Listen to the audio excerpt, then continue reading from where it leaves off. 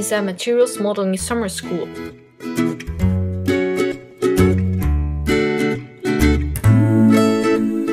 Organized by students for students.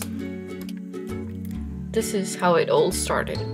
Um, I think in about 2011, Aeneas and Jazz contacted me and asked if I would be part of an experiment that they were doing, putting together this summer school, which was entirely run by students. So, what was the idea behind Hermes? One of the key ideas behind Hermes is really to combine world-class science with world-class science communication and do both of them at a level that is usually not seen together with the other one.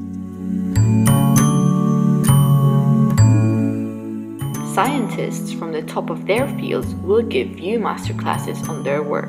Um, so they're given their talk and you know after a conference talk uh, there's usually uh, some discussion and the way that that was organised was completely different. The students were split up into groups and they would go away in those groups and think up questions that they really wanted to ask.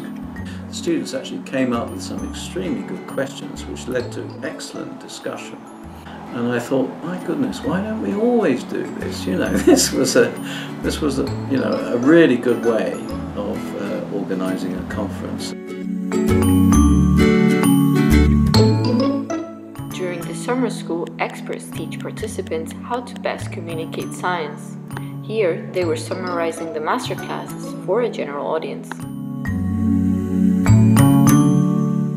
Hi, I'm Drew. I'm here to talk to you about DFT. A recipe and the uh, fundamental ingredients. And now you have an accident. The dinner's cancelled. We're, we're done. What to do with that? A possible solution for that particular problem. But this is by far not the end of the story.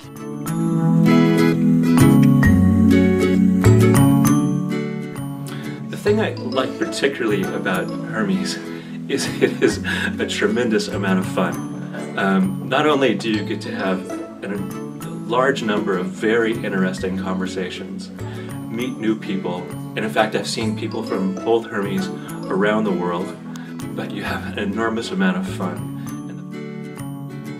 The ability to just chat very easily with leading academics is not something I've ever experienced at any other conference I've been to and you could get general life tips or, or really deep academic tips about your specific PhD problem. You really need to make sure you don't waste your time on things that you don't want to be doing. Thank you